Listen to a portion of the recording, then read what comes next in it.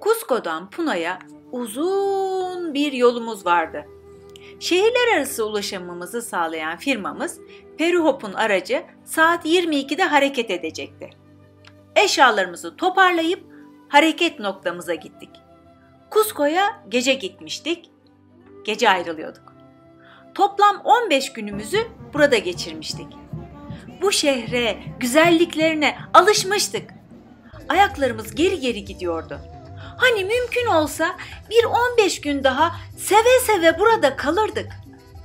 Yağmur da başlamıştı. İki katlı, tuvaletli, lüks otobüsümüz zamanında geldi. Tüm yolcular yerleştikten sonra hareket etti. Bir hayalimiz daha gerçekleştiği için mutluyduk. Ama ayrılmanın acı burukluğu ile ıslak pencereye yapışmış, karanlıkta son kez Kusko'yu görmeye çalışıyorduk. Yağmur dışarıda mı yağıyordu yoksa içimizde mi? Bilemiyorum. Uyuyakalmışız. Sabah 6'da Puno'ya ulaştık. Puno'da inenler, Copacabana'ya gitmek için binenler birden bir curcuna oluşturdu. Sonra otobüs firmamız Peruhop Puno'da kalacak olanları taksiyle hostellerine gönderdi.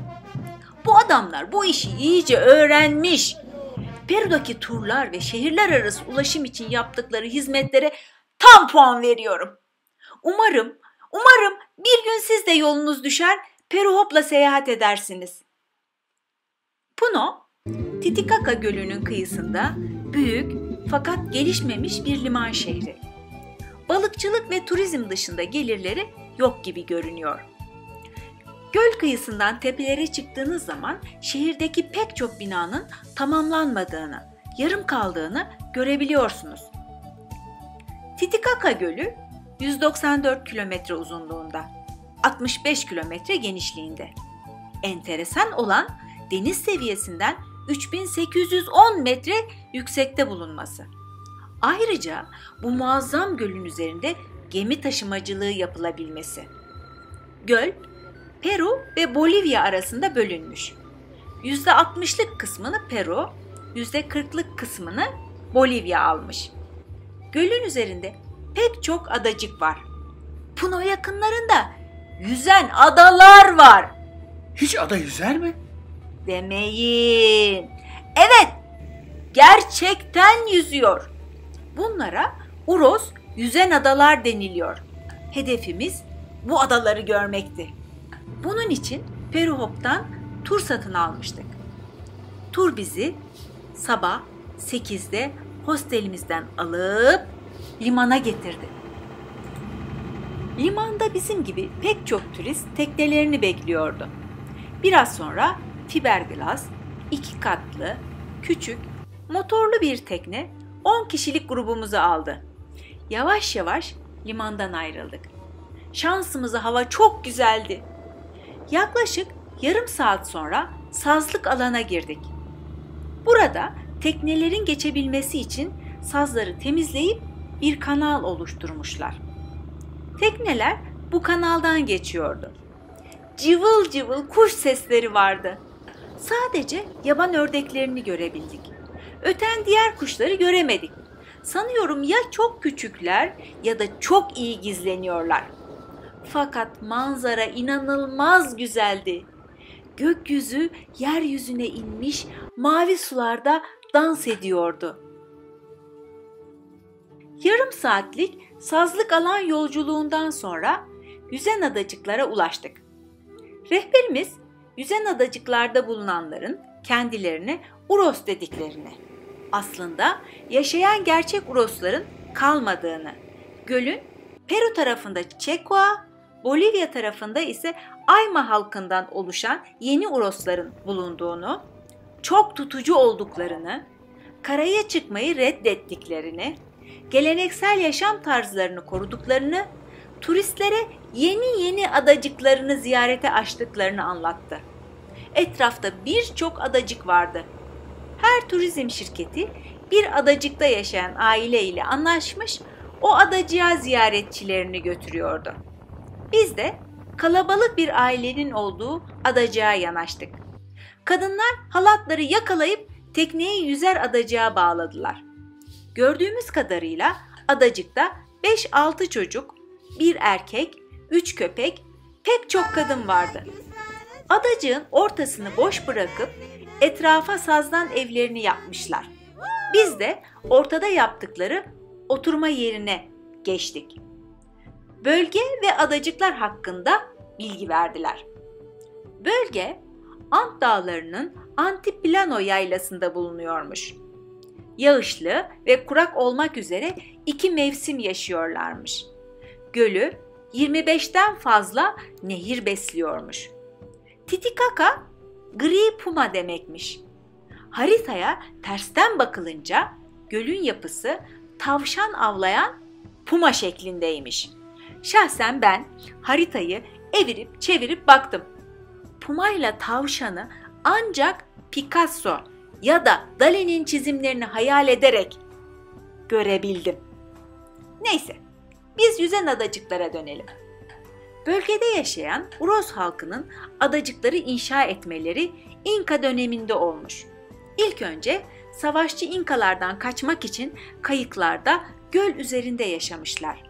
Sonra kayıkları delinince buraya gelirken arasından geçtiğimiz sazlıkların köklerinden adacıkları inşa etmeye başlamışlar.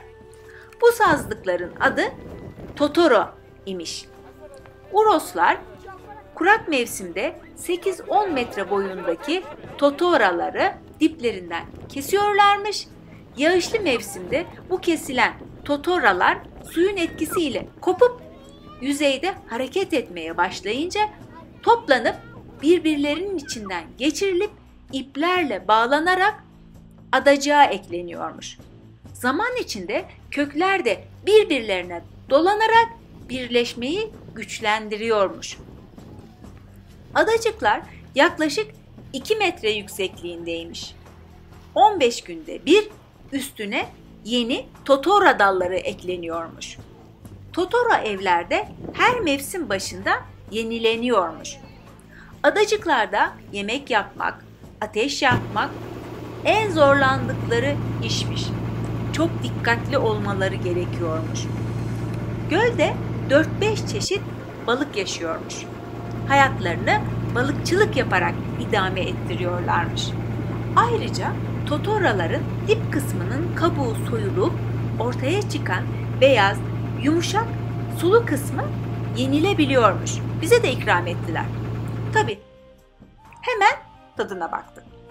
Tatsız, kokusuz, sulu kavun gibiydi. Sonrasında herhangi bir mide, bağırsak sorunu ile karşılaşmadık. Tanıtım bittikten sonra bizleri evlerine ya da içinde bir tek yatağın bulunduğu odalarına davet ettiler. Kendi yaptıkları el işi örtülerini, yastıkları, takıları gösterdiler. Hepsi birbirinden güzeldi. Çok tatlı insanlar. Ancak oraya gelen turistleri insan olarak değil de dolar olarak görüyorlardı. Seyahatimizin bitmesine 3 ay daha vardı. Hafif ve taşıması kolay, ufak tefek bir şeyler aldık. Hiç memnun kalmadılar maalesef. Adacıklarda elektriğin olmadığını söylemişlerdi. Güneş panelleri ve televizyon antenleri gördük. Anlaşılan o ki dışarıdan etkilenmeye, geleneksel yaşamlarından vazgeçmeye başlamışlar. Daha sonra kendi yaptıkları Totora'dan teknelere bindik. Teknelerin ön tarafına çift kafa yapmışlar. Kimisi puma, kimisi kedi, kimisi de insan kafası şeklindeydi. Rengarenk de boyamışlar. Çok güzeldi. Bizimle birlikte 10-12 yaşlarında iki çocuk da tekneye bindi. Her dilden çocuk şarkıları söylediler. Sonra para istediler. Veren verdi. Fakat miktarı yeterli bulmadılar. Vermeyenleri de neredeyse döveceklerdi. Doğrusu geleceğin büyüklerini böyle görmek hiç hoş olmadı.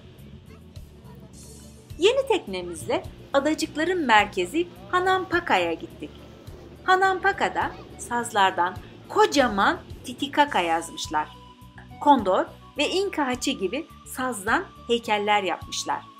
İki tane restoran, bir hostel, birkaç tane de hediyelik eşya stantı vardı. Standlarda kredi kartı geçerliydi. Anladım ki Uroslar çoktan zamana uymaya başlamışlardı. Artık sevimli adacıklardan, gelenekselden modern hayata geçiş dönemindeki Uroslardan ayrılma zamanıydı. Geldiğimiz tekne kıyıda bizi bekliyordu. Yine hayran hayran etrafı seyrederek bir saat sonra Puno'ya ulaştık. Evet, öğleden sonra Siyustani arkeolojik alanını gezeceğiz. Şimdi dinlenme vakti. YouTube kanalımıza abone olmayı unutmayın. Hayallerinize dokunmanız dileğiyle.